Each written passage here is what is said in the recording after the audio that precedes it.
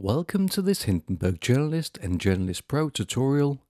In this tutorial, we will look at the effects.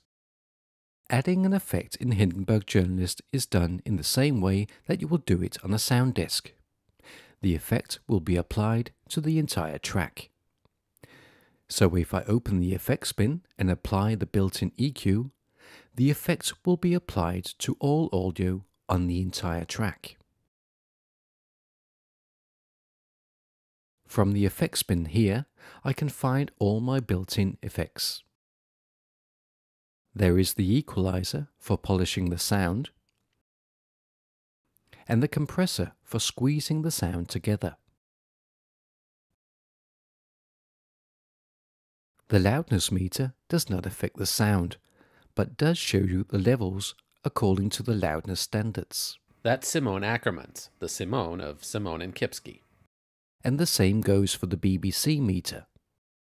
That's Simone Ackermans, the Simone of Simone and Kipski.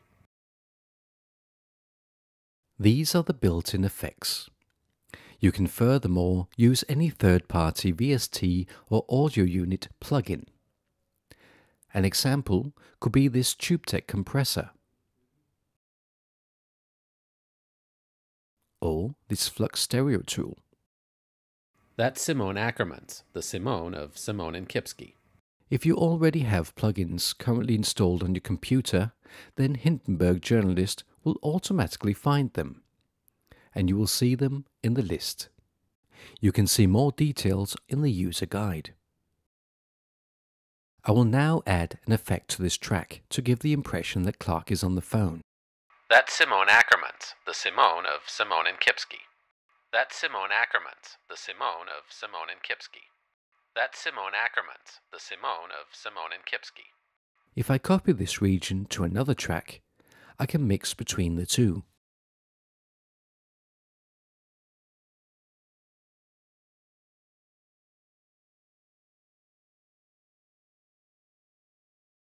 That's Simone Ackermans, the Simone of Simone and Kipski.